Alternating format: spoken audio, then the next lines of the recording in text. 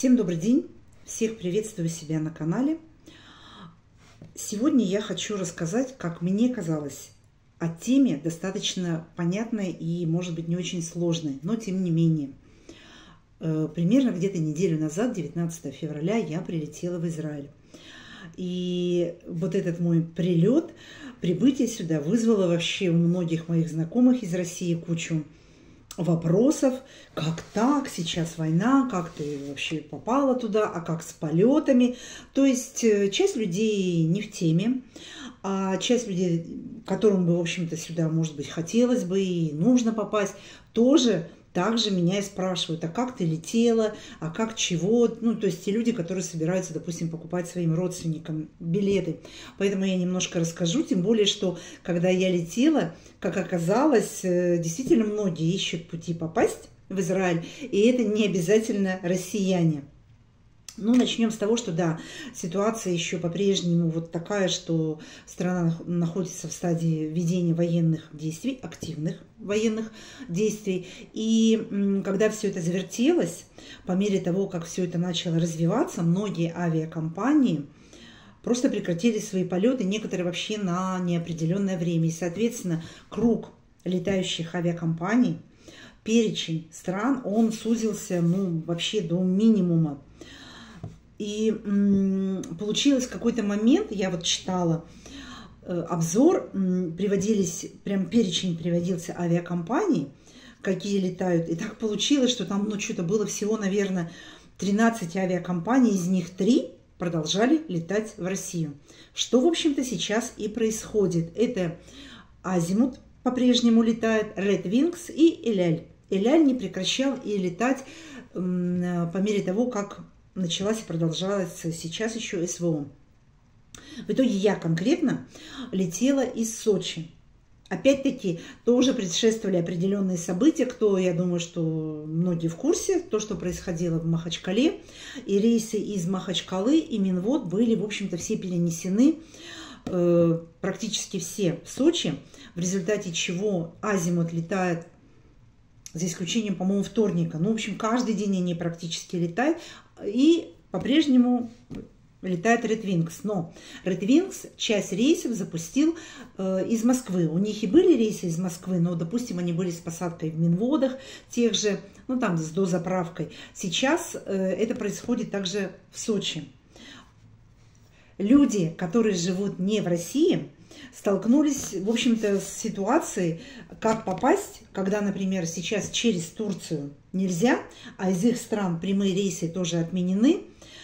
И ситуация усугубляется тем, что часть авиакомпаний, по мере того, как тут ситуация в Израиле развивается, решили, а мы вернемся. Было об этом заявлено, а потом начались всякие другие сложности – это, в частности, связано с тем, что терминал, который работает на Европу, он по-прежнему закрыт. А летать в основной терминал для ряда авиакомпаний оказалось дорого за счет сборов. И в итоге все вот эти заявления декларативные оказались декларативными, на деле не были реализованы, и авиакомпаний летает по-прежнему мало. Для многих, конечно, э, проблема, что перестали летать туркиши, Turkish Airlines. Я сама в прошлый раз в августе прилетала через Стамбул, это было дешевле. Но сейчас, значит, к сожалению, об этом это невозможно и нет необходимости, в общем, об этом говорить.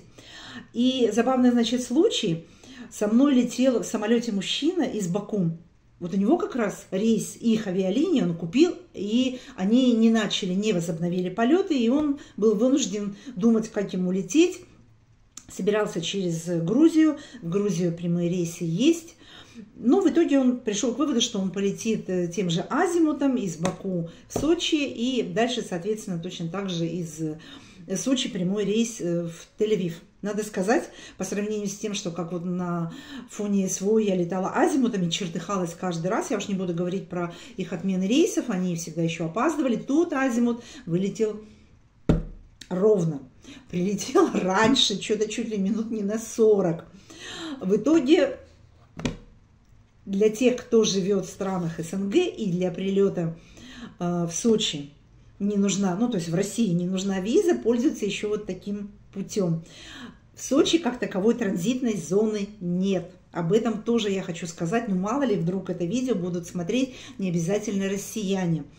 При том, что, например, вот у этого мужчины из Азербайджана был единый билет Азимута, ему пришлось выйти и получить багаж в Сочи.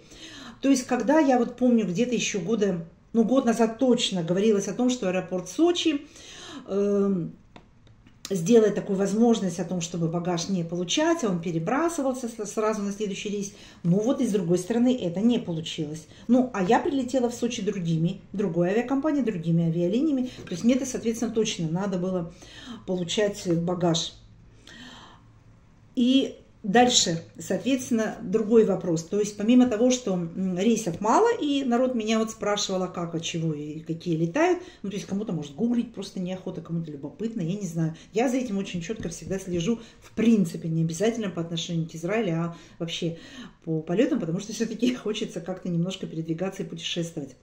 Вот, второй момент – я летела и очень сильно волновалась. А как же я буду проходить контроль? Ну да, страна же в, э, в стадии войны все равно находится. А вдруг будет сложно пройти границу? И был на эту тему, конечно, мандраж. Надо еще следующий момент обязательно отметить, что все-таки если у вас есть родственники, обязательно берите от них приглашение. Насчет как такового туризма – чтобы иметь бронь в отеле, вот знаете, вот это лично мое мнение, я не уверена, что сейчас вам здесь будут рады, говоря таким вот банальным языком. А если у вас тут родственники или друзья, э, пусть они вам обязательно напишут письмо. Тоже, опять-таки, со мной летела девушка, у нее такое приглашение было аж на трех языках. Я тоже заготовила на русском на тот случай, что вдруг возникнут вопросы уже на этапе посадки в Сочи. Ну, в Сочи никто ничего не спрашивал, но это, знаете, как сегодня не спрашивают, завтра спрашивают, и там уже будут смотреть э, приглашение и обратный билет в том числе. Мало ли. То есть такое все-таки приглашение обязательно заручитесь. Ну, так вот, прилетаю я уже непосредственно в Бен-Гурион, поскольку рейсов там ну, практически нет – там все, соответственно, закрыто, и нас провели уже очень коротким путем туда, где надо сканировать свои паспорта и получать документ о том, сколько ты можешь находиться в стране. И дальше мы идем э, уже непосредственно к зону пограничникам. Я думаю, ну, сейчас вот, наверное, будет один единственный пограничник, ну, раз самолетов нет. Но э, нет, нормально, как бы многие пункты работали, и дальше все проходило по стандартной схеме, то есть я показываю приглашение, показываю обратный билет, рассказываю, кому я еду, э, по каким причинам я еду. И прохожу уже, в общем-то, в зону получения багажа.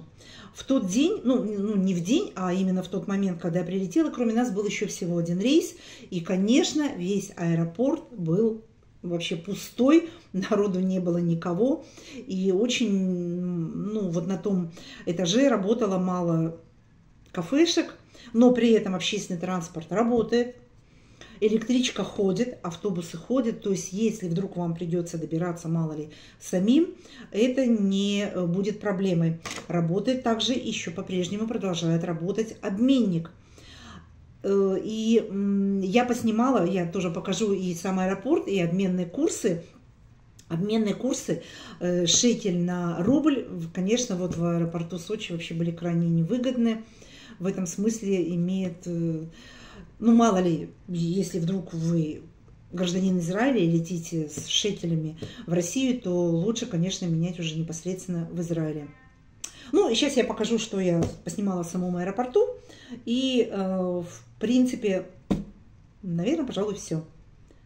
Всего вам хорошего, всем мирного неба, удачных путешествий, до свидания. Так, что у нас нынче по израильскому шекелю? Всем хорошо видно.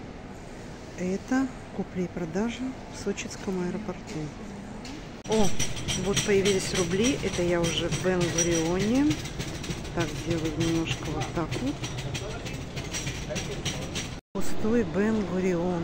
И зона прилета, куда нас привезли, сокращена была до минимума, куда-то окольными путями привели. Все пусто. Вот и кафе многие закрыты. Думаю, что и в зоне вылета тоже пусто. Сижу в аэропорту Бен-Гуриона, дожидаюсь своих встречающих, и подходит ко мне парнишка, по-русски говорит, я говорю, да, говорю. И вот он начинает скороговоркой просить, по сути дела, денег. Парень нормально одетый, ну да, за спиной у него рюкзак, он говорит, что он спит в рюкзаке, и типа вот собирает там сколько-то, вот, ну, со всех там, типа 150 рублей, почему-то такая цифра прозвучала. Э, ну, что скажете? Вот что бы вы сказали на моем месте? Вы бы ему поверили? Дали бы денег или что?